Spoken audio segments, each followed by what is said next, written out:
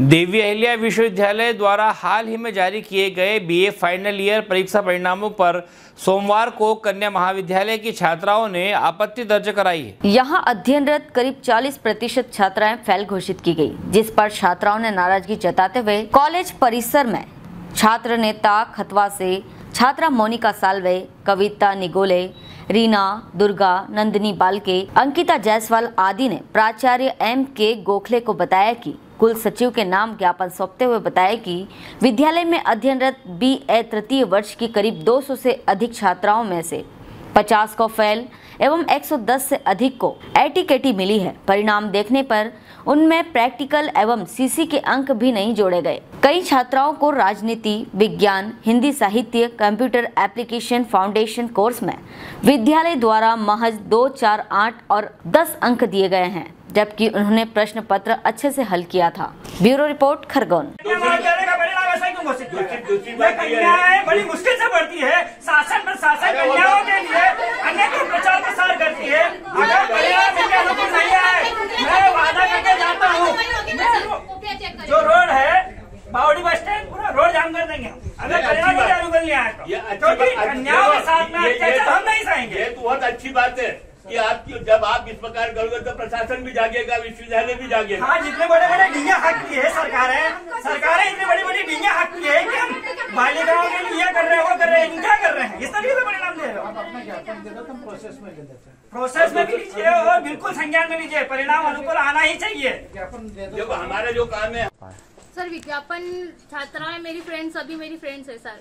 जैसे यूनिवर्सिटी ने जैसे सभी लड़कियों को सप्लीमेंट्री या वो फेल हो गई है। तो मैंने ये सोचा कि यार, मैं हो सकती हूँ। बाकी सब लड़कियाँ तो नहीं हो सकती ना, सर। तो मैंने सभी लड़कियों को बोला ग्रुप में इकट्ठा किया कि अपन सब सर को जाके बोलेंगे कि, सर, हम, हमने पढ़ाई तो की थी, अच्छे से की थी। और हमने ये सोच के की थी कि हम इस पढ़ाई को बीए फाइनल ईयर करके कुछ डीएलएड बीएलएड करेंगे या फिर अब एमए करेंगे। तो सर, हम इस वजह से हम रुक जाएँगे ना, सर। हमारा कल्चर ही बर्बाद हो जाएगा।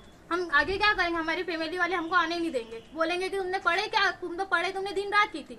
तो तुम्हारा मतलब ही क्या पढ़ने से फिर? तुम घर ही बैठो ना सर। मेरे अभी जल पीढ़ी के एग्ज़ाम में इंदौर जाऊँगी सर देने तो फिर मेरे को वो नहीं देने जाने देंगे ना। बोलेंगे तू अभी इसमें तो फेल हो गई तो तेरे को आगे क्यों जाने दूँगी मैं? अभी आप प्रिंसिपल साहब से मिले क्या आश्वासन मिला है आपको? सर प्रिंसिपल सर ने बोला है कि वो अ, करेंगे हमारे लिए जो भी उनसे बनेगा। लेकिन सर हम वो नहीं चाहते कि जो भी उनसे बनेगा।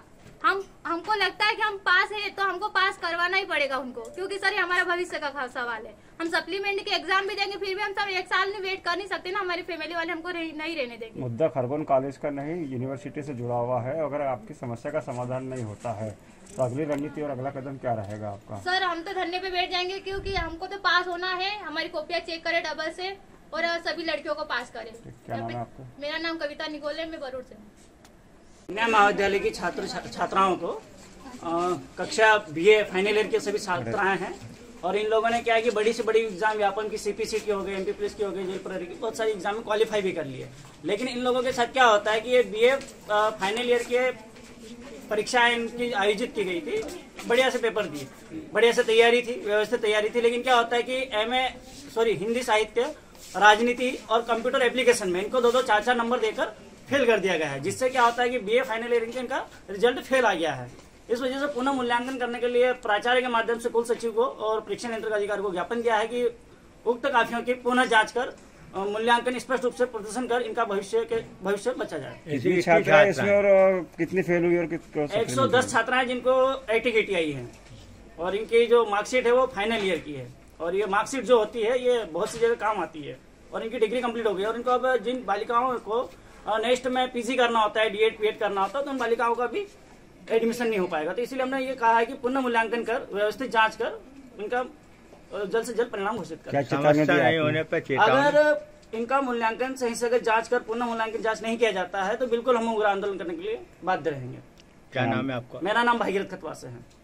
विश्वविद्यालय के द्वारा बी अंतिम वर्ष का रिज़ल्ट घोषित किया गया कन्या महाविद्यालय की अधिकांश छात्राएँ अलग अलग विषयों में मतलब जो है उनको फेल कर दिया गया आज महाविद्यालय की छात्राओं के द्वारा ज्ञापन दिया गया है और ज्ञापन में यह मांग की गई कि हमारा जो रिज़ल्ट घोषित किया गया है, आप हमारी बात विश्वविद्यालय तक पहुंचाइए, कुलपति तक पहुंचाइए, हमारी कापियाँ फिर से मूल्यांकित की जाए और हमें पास कर दिया जाए ताकि हमारा साल खराब नहीं हो और क्योंकि परीक्षाएँ प्रतियोगी परीक्षा कुछ ऐसी होती है जो चार चार पाँच पाँच साल में होती है।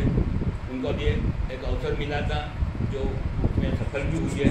यदि उनका रिज़ल्ट उनके अनुकूल नहीं आएगा तो वो नौकरी से वंचित हो जाए कारण क्या रहा सर रिज़ल्ट ये क्या है कि जो नई नई जो शिक्षा नीति लागू हुई है तो उसके कारण भी मतलब जो है रिज़ल्ट मतलब जो है अनुकूल नहीं आ रहा। तो उसमें भी थोड़ा थोड़ा हर साल मतलब जो है सुधार किया जा रहा है।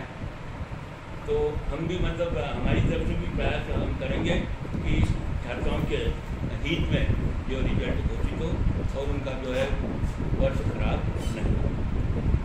क्या नाम लिखते हैं सर आप डॉक्टर एम के गोखले